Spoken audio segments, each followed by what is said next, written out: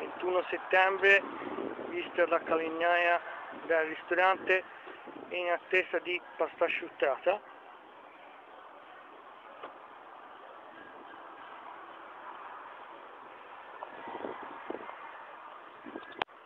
Sabato 29 settembre, ore 13.05, ultima giornata, penultima giornata di mare a Calignaia.